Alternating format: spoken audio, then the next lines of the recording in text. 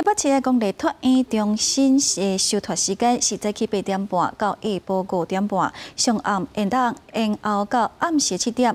不过这个时间对伫做服务业家长是真无方便。导致市议员提起讲，延新办托育的这个时间为早起十点半到暗时九点。台北市长张万安德回应讲，如果上紧会伫九月份试办。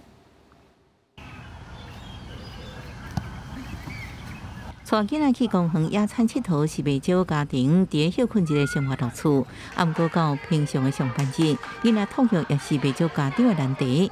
所以有台北市议员提议，研究新办一种托育时间是早起十点半到暗时九点的公托，为服务业的父母提供新的选择。六十七派的他说不知道台北市有这个公托，九十六派没有使用过，因为收托时间。没办法符合上午十点到下午十点的话，你会不会考虑送托？高达六成就说会送托了。我们最快今年九月就会开办，目前规划是在怀生国中附近哦。台北市根据上近九月份对起班消息一出来，也引起家长的讨论。现实来说，一定是比较友善，因为现在人工作时间就比较长。